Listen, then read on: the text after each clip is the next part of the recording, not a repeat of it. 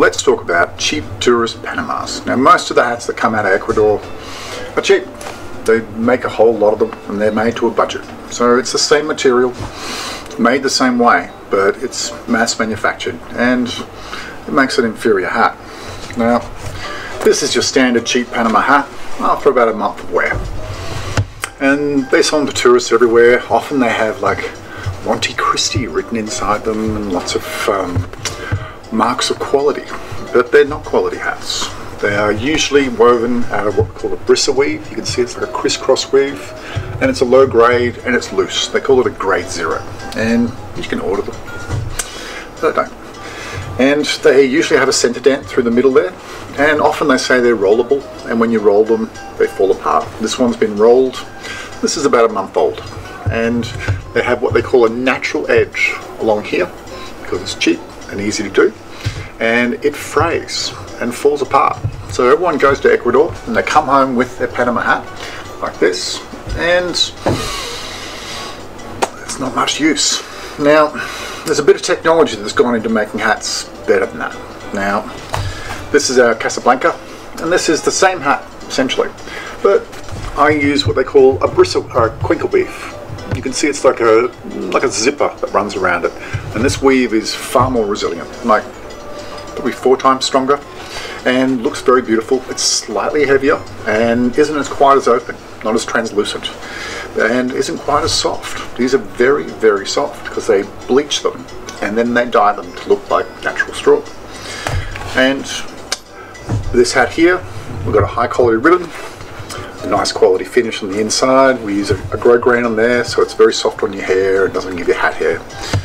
Along the edge, you can see the edge here has been cut and sewn. And inside there is what they call a brim lock wire. And it's a special wire that when you heat set it, holds a particular shape. So no matter what you do to this hat, it will always come back to a beautiful shape. And so this is my version of those cheap Panama hats. And if we hold them up, you get a good idea of what you're dealing with. Now, this one you can buy for 100 bucks, and this one costs 240. That's in Australian dollars. And these are everywhere, and people come in wearing them, and they're always shrinking because of the weave they use. They shrink terribly. So you buy one that fits you just right, and then three weeks later, you can't get it on your head. And then if they tell you it's rollable, if they usually do, then it always ends up looking a bit like this. Usually they'll crack along this line here. What happens is like bending a piece of metal. As you move the straw, it will slowly get weaker and weaker and weaker until it just cracks. And it cracks on these lines here. So you often see them with a big hole in the front here.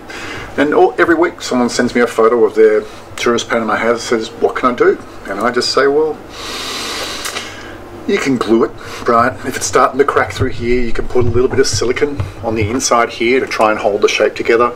And with the brim, you can spray it with like hairspray or coat it with shellac or even wood glue, and that will hold a bit more of a shape. But at the end of the day, it's a very difficult hat to wear and to look good for more than a couple of weeks. And as a hat maker, I watch it all going on all around the world, and there's people shipping hats out of Ecuador everywhere, and most of it is this. This is what they have down the road from where I live. But this is a far superior hat. You'll have for years and years. It'll always look good, and you've got a real Panama.